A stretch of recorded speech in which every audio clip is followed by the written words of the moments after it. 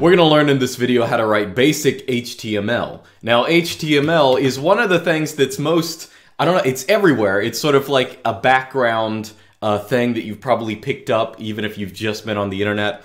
Um, but I did a series a couple weeks ago starting about like how to have your own website, how to start your own website.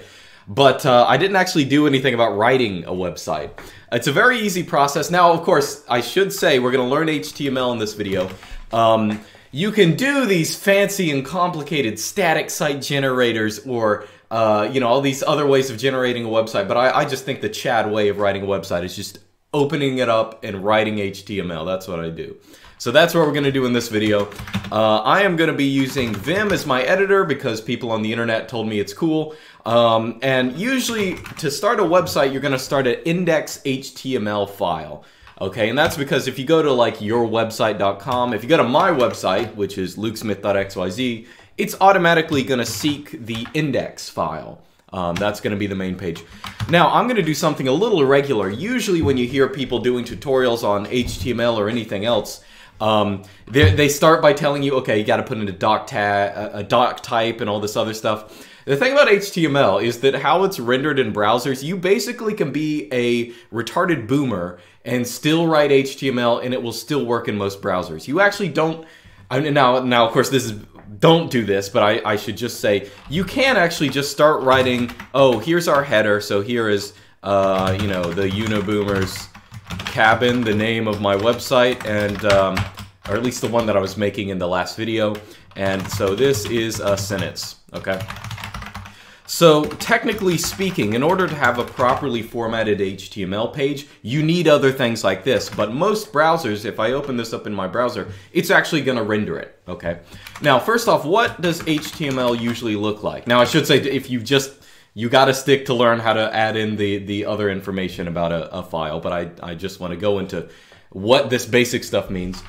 Um, so if you look here, what have I done here? Now this H1 thingy is going to render as a big header, okay? And this P thing, this actually stands for paragraph. It's rendering as a paragraph, okay? Um, so basically, you've probably seen people use tags colloquially on the internet. You know, people are probably like, you know, slash sarcasm, ha ha ha. I can't spell sarcasm, but who care? Who cares? Um, that, of course, is imitating the tags of HTML. So basically, in order to say that something is a paragraph, we open the p tag, we put some stuff in it. Here is another paragraph. Uh, and then once we're done, we close the p tag. Okay, so that is in general how all of HTML is going to work. Now, there are some tags that do not need to be closed. We'll talk about those as well. Um, but just to be clear, so let's play around with this a little bit. So I can, of course, have multiple paragraphs, okay, and you'll see that each one of them is going to be formatted differently. Um, let's say I delete, let's say I delete these, okay? Let's say I'm a boomer and I don't know how to write HTML, so I, I, I like, uh, only have half of the syntax there. One thing about HTML is that most browsers are gonna just try and guess you know, even if you have bad syntax like this, they're just going to try and guess what you mean there, okay? So you could delete the beginning of these tags or the ends of these tags, at least in the case of the paragraph tag, and it will render it correctly. Now, that's not going to work for everything. If you, like, delete the end of the header tag, it's going to be like, okay, I guess those are all uh, headers, but um, anyway, or heading, I should say. Those are technically different things. Um, so anyway, that, but uh, in addition to this, so we know how to write paragraphs. We know how to write headers uh, or headings. Um, so here's another one, another heading. Now notice, of course, both of these have H1. H1 is basically the, uh, the biggest heading. So if I look at this now, you have a big heading, you have a big heading. The one here, just to be clear, does not mean the first heading at the top. It means the biggest type of heading. If we put in an H2 here, that is basically a subheading. So subheading, okay. So if we put in an H2, let's see what that looks like. It looks like a smut. It's it's a heading, but it's slightly smaller, okay? Or if we put in an H3, that's going to be the same deal. Okay, so an H3 is like a sub-sub heading, okay? Change this to H3, let's look at that. So this is even smaller, and I think it goes down to like H6 or something like that. Um, okay, so in addition, let me actually move this over here because we're writing more stuff. Um, let's say something like text formatting. So let's format bold text or italic text, okay? Or actually, we can do or underline text. Okay, so in each of these cases, bold is just going to be uh, the B tag, I is going to be the I tag, and uh, U is going to be the, or underline is going to be the U tag. You see in each of these cases, it's produced the text that we want. Okay, uh, and of course you cannot, like the paragraph tags, you can't mess these up. It's going to get confused if you like delete the end of this. It's probably going to bold everything for the rest of the document. Yep. Um, and notice, oh, actually, I should say, so you should note that you can like put bold tags inside of italic tags to make it like uh, both bold and italic or something like that. Now, it's usually thought of as slightly better form to use these, however. Okay, so for example, uh, you know, here is the strong uh, tag, strong tag, and the emphatic tag. Okay, so um, I'm going to show you what this looks like. Now, strong text is basically going to look exactly like bold. It, it is predefined as being exactly bold. Uh, and emphatic is going to look exactly like italic. Now, technically, now the reason there's a difference between strong and B and inf and italic is because basically the bold, the B and the I and the U tag, they're not supposed to change. They're always going to be the same. Um, but it's usually thought of as better form to use the strong tag or the emphatic tag because when you go into actually changing the style sheet of your website, uh, it's better form to be able to modify like the strong tag. Let's say you instead of um, wanting something emphatic to be italic, you want to change it to be maybe it's underlined or, or, green or flashing or something like that. You can do that in uh, CSS by modifying the em tag. Okay. Uh, but it's sort of bad form to modify the I tag directly. Okay, that's what that's for. Um, now, before we get to that, though, uh, let's do at least one more thing. One thing you do pretty common is make lists. How do you make a list in HTML? It's not too difficult. Um, we'll, we'll make an ordered list. Now, to make an ordered list, I'm going to use the OL tag, ordered list. And inside of that, you can have LI tags. That means a list item. So here is a list item, okay? And I'm gonna close that tag. And in fact, I'm gonna multiply that a couple times. And let's see what that is gonna look like. Um, now we have a list and we have seven items in it. Notice that HTML has automatically numbered all of these seven items. That is part of the uh, uh, ordered list. Um, now, if you just want a unordered list or a bulleted list, just use UL for unordered list. And if you run that, if you see what that looks like, oh, it's just gonna have bullets. Um, and in each of these cases, you can actually, let's say I copy this lit, this entire list, and I'm going to paste, uh, I'm going to paste it inside of this list. Okay, so now we have a list inside of a list. What is that going to look like? Okay, um, well, it's good. You're basically going to have a sub list, and it has a slightly different annotation here, uh, a little, uh, you know, dot without stuff filled in. Okay, so that is basic HTML formatting. This is not just the kind of stuff you use in making a website, but you also might, you know, use a web form that requires HTML formatting. Now, all of you people who are uh, web devs are screaming right now because I have just been writing HTML without having a proper header uh, or heading uh, with a doc type and all that other stuff. Now, I said HTML, as it's rendered in browsers, is usually very, very forgiving. Um, but there are certain things that you always want to include in your HTML documents, okay? One of the most important ones at the very top and the very first line should be this. It should be exclamation point, doc type, and then HTML. And that's HTML is going to be lowercase, doc type is going to be capital. Um, now that is basically just telling your browser or you know other people's browser when they look at your uh, website that this is a proper HTML document. If it does not see this, your browser is basically going to guess exactly how to format it. And it might guess wrong or it might be something weird. I think if you don't include this, um, it's it, like Internet Explorer at least will totally break. Okay, so that's something you don't want to happen. Um, additionally, you want to set a uh, an HTML tag and you want to include some information about this HTML that you're writing. Okay, so for example, you might, you're probably going to want to do this, HTML, set lang equal to en for English. Uh, so we've opened this HTML tag at the top, and I'm going to end it at the bottom. Okay, that is good form to have. And also, the body text of your document is usually put into a body tag. So I'm going to open this tag up here, and I'm going to close it at the bottom right before uh, HTML. Notice that the body tag is inside of HTML, okay? Now the reason for this, now the, the reason you usually do this is multifold actually, uh, but one, one of the reasons is we might want to set, when we start do, doing styling and coloring and stuff in CSS, we might want to set specific um, uh, like traits for the text that's inside of the body and things like that. And that also, it also helps, helps with rendering across platforms and things like that. Now, last and not least, you want to have a head, okay, or uh, you know, a header in here. And you basically, this basically contains metadata and other information about your um, document, okay? First off, notice in my browser that this is named index.html.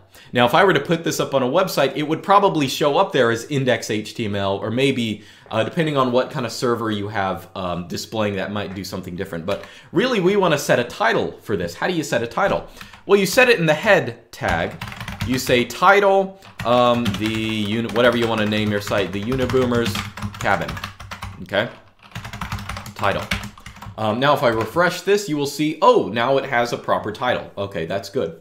Another thing that you are going to want to do, I had to write this down because I always get it a little wrong, okay, is that you are going to want to set to have uh, Unicode character, proper UTF-8 characters. So that is meta, uh, car set, chair set, however you want to say it, char set, uh, UTF-8, okay, and a slash there. And that is just telling your browser, okay, I want to use the, you know, if you're using a non-English uh, language, uh, everything is going to show up as a mess until you have some this thing included.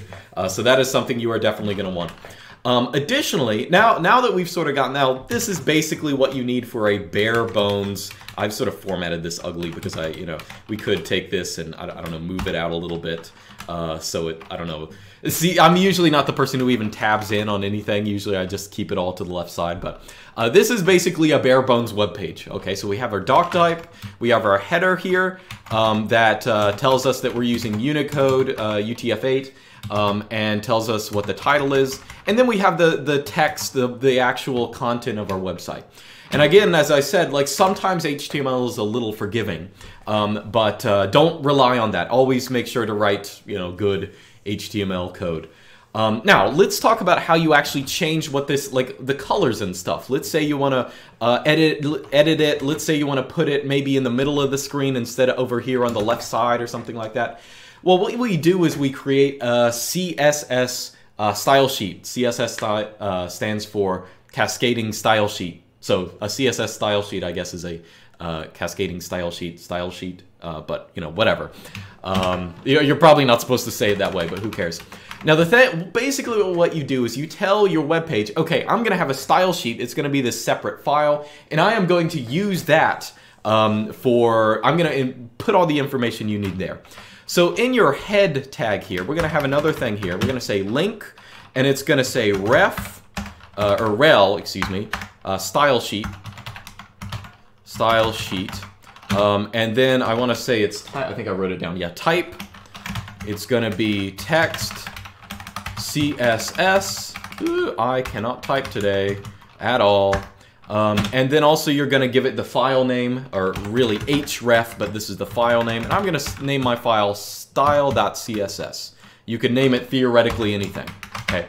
So now what this is going to do, if you just run it and see what happens, nothing is going to change on your website. But um, now what this is going to say is this HTML document is going to look for this file, styles.css, and it is going to look for um, all the, you know, extra settings that you set there for how it's going to look. Let's go ahead and start doing some of that. I'm going to create this new file, style.css. Uh, and let's start playing with it. Now let's modify our body tag. Okay, so as I said, we have a body tag uh, that we can modify. We can put, you know, information, uh, different settings in there. Let's say uh, I, like everyone else on the internet, hates having a light theme. Light themes are utter cringe. I want to get rid of it. I want this to be dark, easy on the eyes, you know. If you're a NEET, if you're in your dark room browsing, you don't want, you know, all this white background all over the place. So I'm going to say this. I'm going to say color, and color usually refers to the color of the text. I'm going to say color is going to be white, and I'm going to say the background is going to be black. Okay, these are settings built into CSS. Now if I run that, you'll see that, oh, look at that. Now we have a nice dark site, okay? Nice and readable. You can edit other things as well. Let's say I want to edit the headings. Let's say I want them to stick out a little more, okay? Uh, you can do things like this. You can say H1, and I'm going to say the color of that is going to be red. Okay, that'll make it stick out very, I don't know, very strong. Okay, so now our H1s are sticking out. Okay, or you can do something, I mean, let's say we want H2s to stick out as well. We have one of those second headings. We can go in here and add a little block that says H2 is going to be red. Okay. Now, of course, there's an easier way to do this. Let's say both H1 and H2 are going to have the same settings. Well, I could just get rid of this and say, um, you know, comma H2. And that is actually going to apply to both of those. You know, none of it's going to change. But it, it's sometimes good form to keep them separate, especially if you want to later go in and change. Let's say I want H2s to be green or something like that. Okay, so you can change things like that. Um, let's see what else. So let's say um, I mentioned that um, you could change stuff like let's change what we want emphatic text to look like because we had this little emphatic uh, stuff here. Let's say I want that to be um, you know, font size large. This is probably going to look really ugly, but it can be done. Okay, so that's going to get a little bigger. Actually, let's make it extra, extra large. XX large. Okay, so that is going to be really big. Now that looks ugly, but that's just something you can do with the tag. Let's say, you know, maybe something more realistic is you change the color to be yellow. Actually, that's still going to look ugly, but who cares? We're, this is an example video, okay? So this adds a little, a, a little change to your site here. Um, additionally, let's say we have uh, list items here. Let's say uh, our list items are too big. That's just something I want people to go over. We can change um, the size of list items. Uh, let's say font size uh, small. Okay. Uh, so that is going to decrease the size of these list items, just if you want that. Okay. And this goes for anything. Now, I'm not going to show you everything you can do with CSS. I just want to give you an idea with it. Um, but you can go in and start changing how things look and how they're organized. Okay. Another thing you'll pro you're probably going to want is you know on this web page at least. Um, all of our text is on the left side. That is by default how everything is going to display in HTML. Let's say we want to change that. Um, there are a couple things you're going to want to do. Uh, we're going to set some settings to the body tag, but um, uh, there are a couple things we're going to want to do. We want to say something like this. Um, so let's say max width uh, we want it to be 800 pixels, okay? Uh, and I'm gonna do two other things. Uh, let's say uh, margin left is gonna be auto, and margin right is gonna be auto, okay?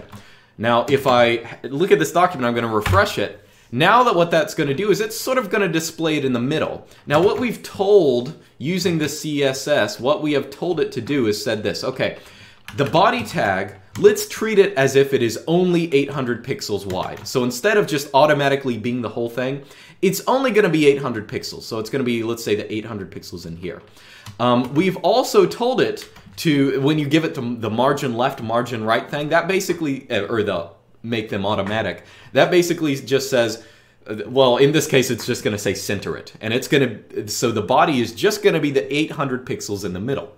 Um, if we change this to like 600 or something like that, you're going to notice that it moves a little in. Now it is only the 600 pixels in the middle or something like that. Or let's say, um, you know, a thousand or something like that, okay?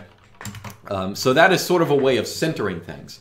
Now, if you just want text to be aligned or something like that, well, uh, let's say uh, 800. That'll be that'll be what we stick with. Okay, does that look okay? Um, you can also just align text. Um, uh, you could, let's say we want our uh, headings to be um, in the middle of everything. So let's say we want H1 and H2 to be centered. You can say text align, okay, uh, center. I think that's how you do it. Okay, let's let's look at this. So I'm going to refresh it, refresh it. Okay, so now all of our headings are in the middle. Uh, this actually looks a little ugly, and the reason it does is we don't have text that like goes through the entire like normally paragraph text would be taken up like all this space over to this side so it would look sort of nice but since we're not writing that much it all looks sort of ugly. Um, but that that's how you center text and things like that. Um, so HTML and CSS, hopefully this has given you sort of a view of how to do basic things in them. Uh, but I want to talk about two more things that I think are pretty essential. Um, now, I will say this, of course, is not has not been exhaustive. You're going to have to uh, learn some of this stuff on your uh, by yourself. But two more things I think are important. Uh, one is making links to other pages, and the other is adding images. So let's do those really briefly. Let's say I'm going to make another uh, I'm going to make another page. I'm going to call it another.html. Okay, so here's a new blank HTML document. I'm actually going to go ahead and copy in most of this stuff that is required. Okay, so we got our HTML tag. We got our um, our header up here. I'm going to change this title to another page. Uh, and we have our body tag. And I'm going to go ahead and write something in here. You know, here is another page. Okay. So uh, in a paragraph here is some cool content, exclamation point. And let's open this in a browser and we'll see that, okay, now we have another page. So how do we link this page to our original page? Very, very easy uh, to do one or vice versa, it doesn't matter.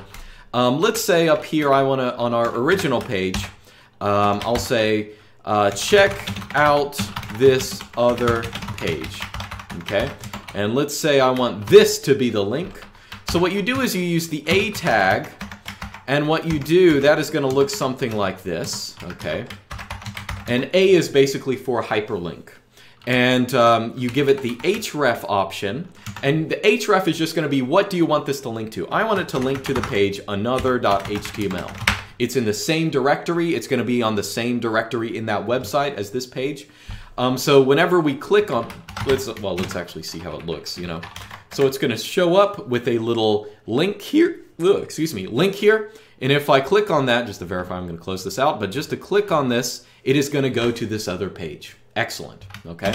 Um, in addition, if I go to that other page, uh, I can add a link back to the index. So let's say um, href uh, index.html. Remember, that's the name of our main page. And I'm going to say return to the home page. Okay, close uh, those tags there, that paragraph tag and the A tag. So it's going to say return to home page. I, I really need to change the uh, CSS because it's hard to read here. But that is going to return us to where we belong.